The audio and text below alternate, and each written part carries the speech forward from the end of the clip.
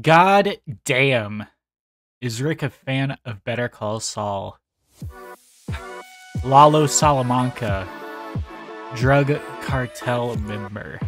He forces Jimmy to drag two bags of $7 million through the desert over 36 hours.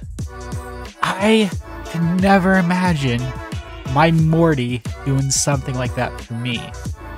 The furthest he goes is cleaning my fucking flying saucer car. And it's like, you know what? I should expect him to do that by now. And he should know what to do to clean that fucking car. Whenever I'm drunk, he's the one who checks the grill for blood whenever we come back from a fucking adventure. Because I don't need baby blood on the trunk of my fucking UFO car. And he just doesn't understand. No matter how many times I tell him. and you know what?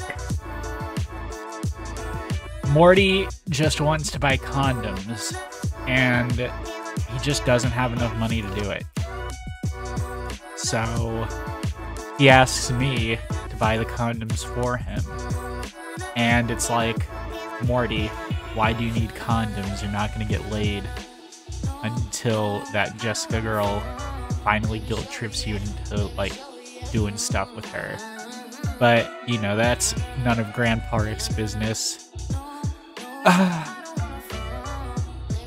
Whatever, man. Grandpa Rick is officially tired of being caught in the middle of it.